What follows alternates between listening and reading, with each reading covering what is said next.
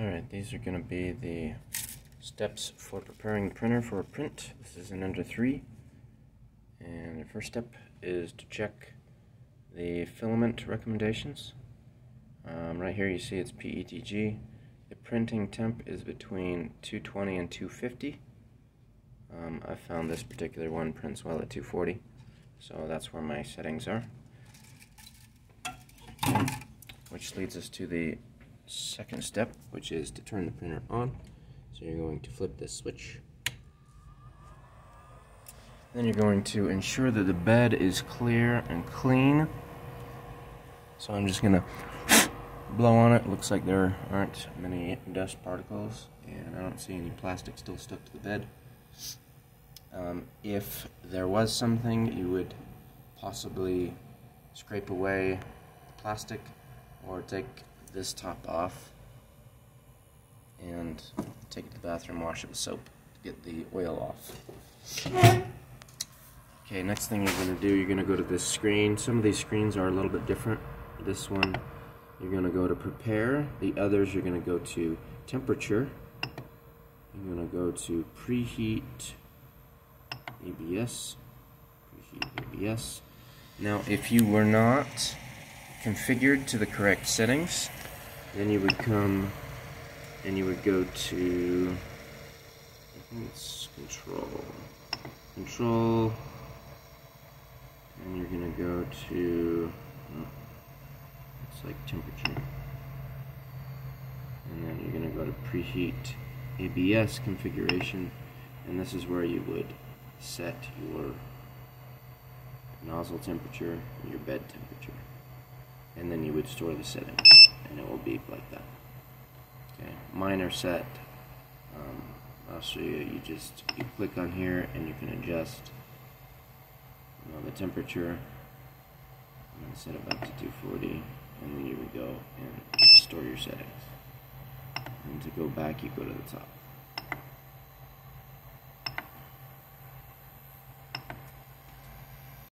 Okay, so your next step is to push filament through and if it comes out straight then the nozzle is clear.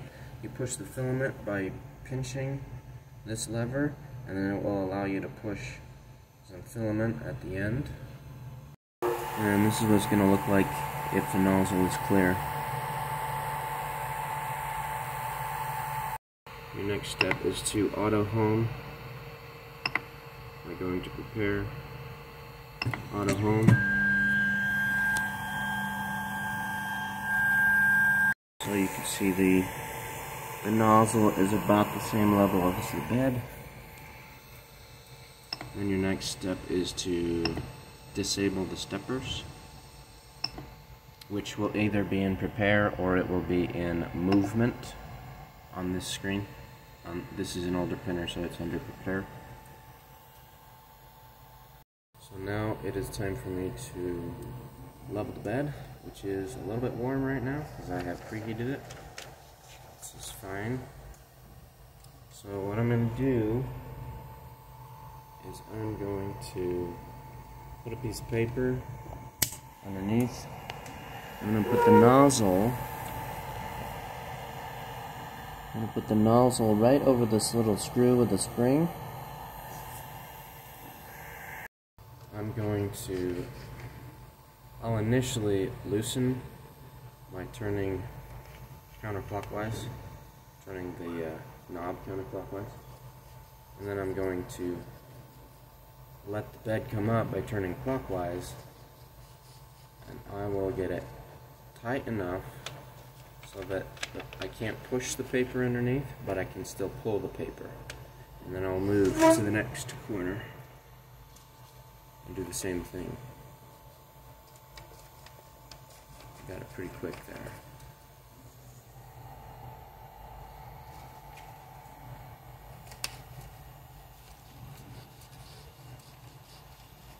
That one's done.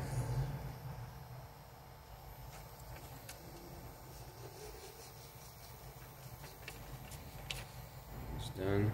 Now you're going to go around twice because as you adjust each corner, it's going to affect every other corner. So this is the second pass is to fine tune what you did on the first pass.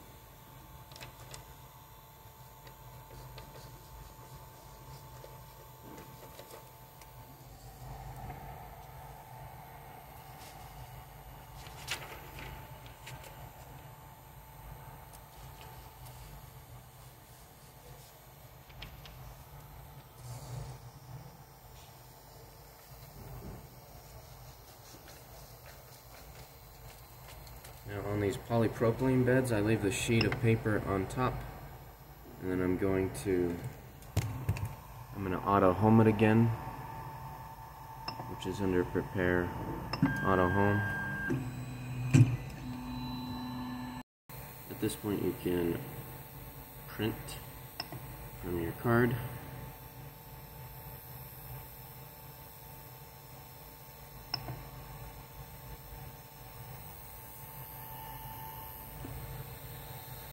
Now for the next step and potentially the final step, you're just going to make sure that your uh, your layer is sticking.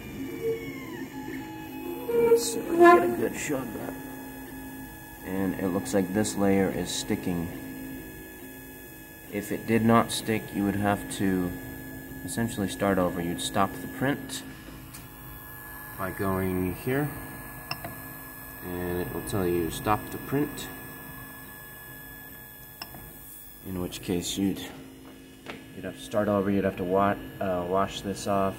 If it wasn't sticking for that reason um, you could possibly make it work by using the Z-hop to go up or down which I'm not going to do right now so it doesn't wreck the print